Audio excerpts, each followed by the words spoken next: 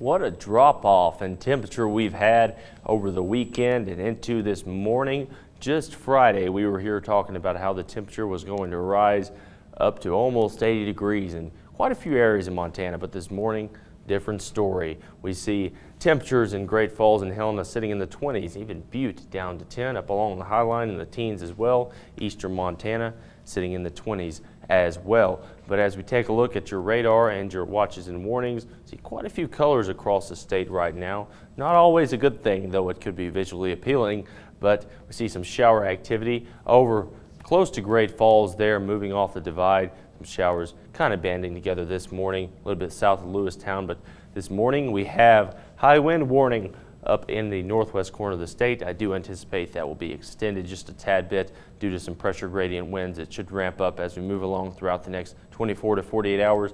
We have a winter storm watch, winter storm warning, winter weather advisory, winter weather warning, and over here to the eastern side of the state, that's a blizzard warning there in the red color, including Glendive, Miles City. But as we take a look across the country, see some rain shower activity in the southeast, moving up towards Missouri, down south through Mississippi. But the main story this week in the global synoptic scale is going to be a large scale trough digging down into the southeast, negatively tilted trough, going to produce some significant severe weather risk throughout the southeast, but for the western United States, going to push a lot of dry air out toward the western United States, really ramping up that fire danger. But for us here in Montana and areas to the northeast, we should see quite a bit of snowfall possible throughout the week. As we take a look at today, we'll see a few spotty snow showers like you just saw on the radar continue throughout central to northern portions of the state. But down in the southwestern corner of the state,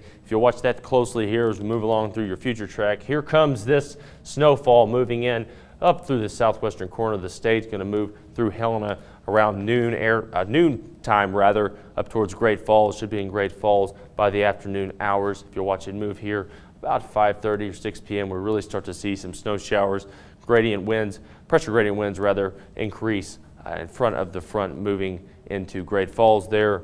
But as we move along through tonight into tomorrow morning, we really see that snowfall start to kind of band together, especially in southwestern Montana, areas like Dillon, Bozeman, over to Livingston, up through West Yellowstone. As we move through your Tuesday, we start to see that snowfall really increase along central areas of Montana throughout the central areas all the way to the eastern side of Montana. Glasgow and Jordan up through Havre Probably going to take a little bit longer to get up through the high line there, but uh, by Tuesday evening it will be through. Take a look at your moisture really quickly as we move through over the rest of the weekend to next week. You'll see some moisture moving out of the Pacific.